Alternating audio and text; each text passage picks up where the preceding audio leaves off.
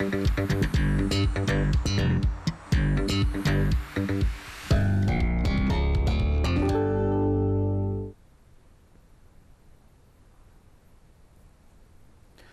республикалық газетінде тентекте де тентек баратты мақала жарық көріпті. Қазіргі жастар ә, қайнап тұрған бойындағы күшті теріс бағыттарға жұмсайтынына қынжылады. Мақала авторы Нұртөре Жүсіп. Ә, соңғы кездері Түркістан, Қызылорда, Қарағанды және Ақтөбе облыстарында жастар арасында бірнеше төбелес тіркелгені мәлім. Әлеуметтік желіде таратылып жатқан бейнежазбаларды көргенде тұла бойың түршігеді. Қандай қатыгездік.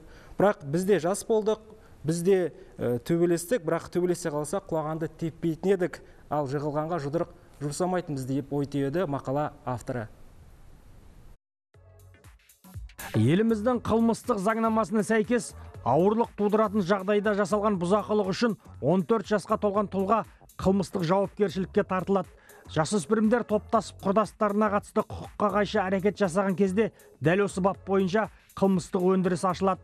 Осыған байланысты ата аналарды оқу орындарының ұстаздарын жасөспірімдер арасындағы қылмыстың алдын алу мақсатында балаларға қылмыстық жауапкершілікке тартылатын жасқа жеткендігі туралы алдын ала ескертіп ойланбай істелген әрекеттің соңы неге әкеп соғатынын айтуға шақырамыз.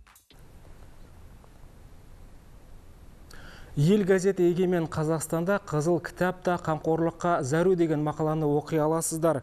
Ә, оның авторы қызыл кітап тізіміне енгізілу үшін қажетті дерек жеткіліксіз екендігін алға тартады. Сондықтан бұл жұмыста саны сирек жануарлар туралы жаңа деректермен қатар бұдан 10 жыл бұрынғы ақпараттар әлі күнге дейін пайдаланылады екен. Соған сәйкес қызыл кітаптың келесі басылымы жарық көргенше маман зоологтарға осы жануарлар жайлы жаңа мәліметтер жинауға мүмкіндік тудырып зерттеу жұмыстарына жағдай жасау керектігі айтылған. Енді осы зоология институтының маманы биология ғылымдарының кандидатын айтқан ойына назар салсақ.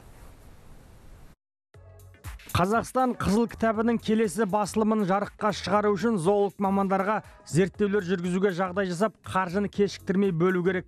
Қазақстан жануарлары ішінде омыртқалылар ғана емес омыртқасыз жануарлар да бар. Олардың да қызыл кітабын жарыққа шығару керек. Мен осы институтқа орналасқанымда 800 адам жұмыс істесе қазір 8 адам ғана қалды. Қаржы бөлінбегеннен кейін мамандар күнкөріс үшін әр жаққа тарап кетті. Институт жабылудың алдында тұр. Әлемге қазақ сөзін кім танытар? Түркістан газеті осылай жазады. Мақалада еліміздің 30 ақын және 30 жазушының шығармаларын қос томдық антология ретінде әлемнің алты тілінде басып шығару жоспарланып отыр бірақ әлі күнге дейін осы тізімге нақты қай қаламгерлердің енетіні әлі күнге дейін беймәлім болуда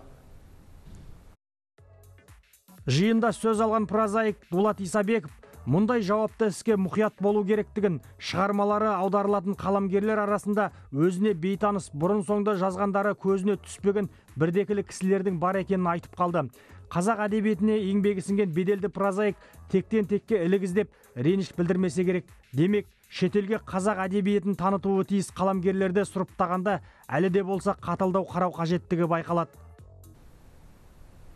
Мен де әзірге осы бірер сағаттардан кейін тағы жүздетін боламыз. Жанар? Данияр ақпаратыңызға рахмет, жаңалықтарымыз жалғасатын болады.